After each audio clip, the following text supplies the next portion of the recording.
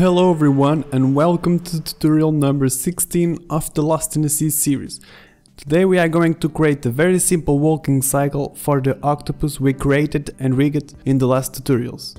You can find out more about the modulation and the rigging process in the description. And after creating the walking cycle, we are going to import it to Unity and see how we can play animations in Unity.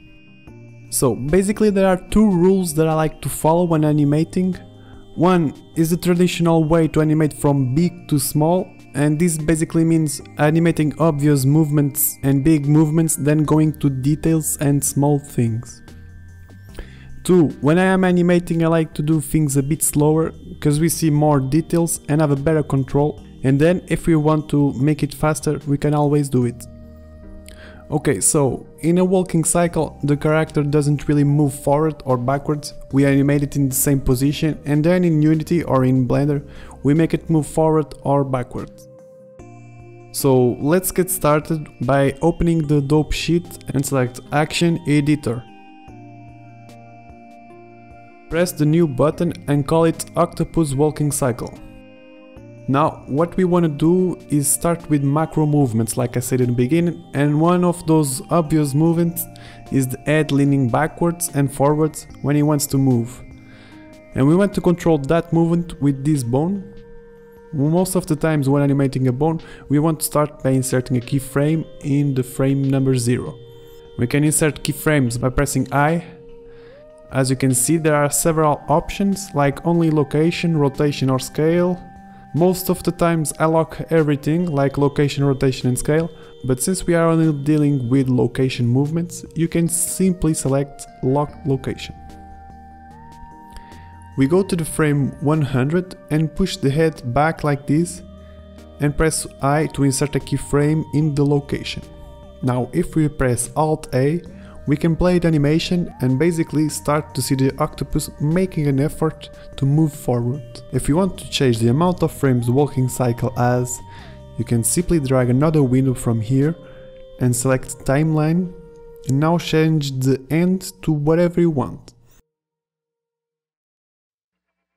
I recommend you to control your animations in the graph editor. You can have an easier understanding of what's going on Understand if the bones have a smooth movement or an abrupt motion, and this will help you to make better animations. We can zoom in in the graph editor with the mouse wheel, and since eye locked the location, rotation and scale, now the respective lines appear here, and we can hide the rotation lines and scale ones by pressing this I. As you can see, the handles will allow us to control the shape of the curve. Now Blender also has some interpolation presets and we can access them by pressing T and if you play around you can see what each one does. This may be really useful. So now we duplicate with Shift D the first keyframe and put them in the end of our animation. Why we do this? Because we want this to be a loop and we want the start and the end of our animation to be equal. Now let's keyframe the neck bone, cause the octopus also moves that part of his body in an effort to move forward. Let's keyframe in 0 and around the frame 70 move the neck just a bit forward and add a keyframe in the location with I. Also duplicate the first frame to the end of the loop. And now we also want to move these frames a bit nearer to the end, so it really looks like he's making an effort to go forward. Something like this will do the job, and even more if you want. Now that we have the movement of the head done, let's move on to the tentacles. And a good thing about this is that it can be a bit random, a bit aleatory. But the idea of the tentacles is that when the head goes back, the tentacles have to go forward, so he can have strength enough to move his body in front. But not every tentacle does this. Some of them don't go forward, they just kinda do another contraction. But let's see how this works. So select this tentacle and set the keyframe in 0 and around here let's move it forward to something like this. And keyframe the location. If we press Alt A we can see the result. Now, like we did before, duplicate with Shift D the first keyframe to the end. And let's do again the same process for this tentacle. Keyframe the location in 0, and around the frame 80, just move it to somewhere like this, and keyframe the location. And finally duplicate the first frame to the end of the animation. Now let's go back to our first tentacle, and the trick around here is to pick these handles and move them like this.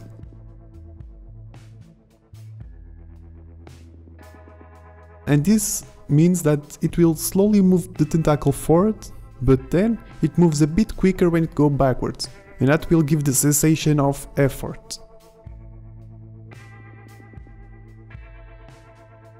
For this tentacle in the back, we are going to create small contraction and make it look like it's also using the tentacle to move forward. Create a keyframe in 0 and in the frame 80 we can move it to a position where it will contract a little bit and keyframe it. We just need to duplicate the first key to the end and maybe do the same thing we did with the Bezier curves in the last tentacle. And now we are closer to get an overall feeling of what is going on. We just need to move the we just need to do the same thing for this tentacle and move these keyframes to the number 100.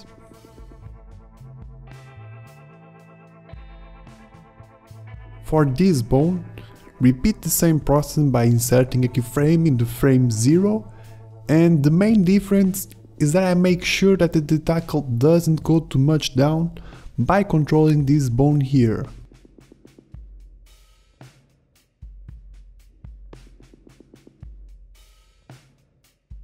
After controlling the height of this bone, we can keyframe it to the frame 100 around this position. Duplicate the first frame like we used to do to the hand and you basically have to do a similar process for any tentacle that's left. For the eyes, we make a simple movement like this. The octopus will basically look a little bit to the side, since it doesn't look only forward. And you can also make his eyes close a little bit like this, and that's it for the eyes. Now, as you may have noticed, if your animation is something between 160 frames or even 200 frames, it's a bit repetitive, it's a bit small. And we can easily break that repetitiveness by duplicating the amount of frames in the timeline, making our walking cycle twice as long.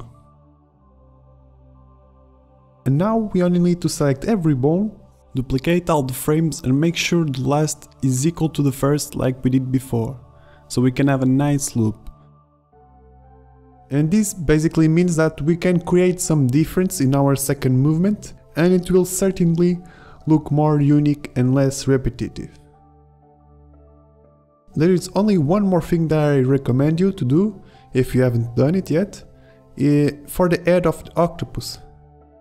When he moves back, make sure to create a little tilt to the left or to the right, like this, and do the same thing when you move his head to the front, and this will create more credibility. And this is it guys, we have created a walking cycle for the octopus and this means in the next tutorial we will see how to import animations to Unity and then make sure to import the rest of the Lost in the Sea scenario that we created. And thank you for watching guys, subscribe for weekly updates on game development related topics and see you in the next tutorials.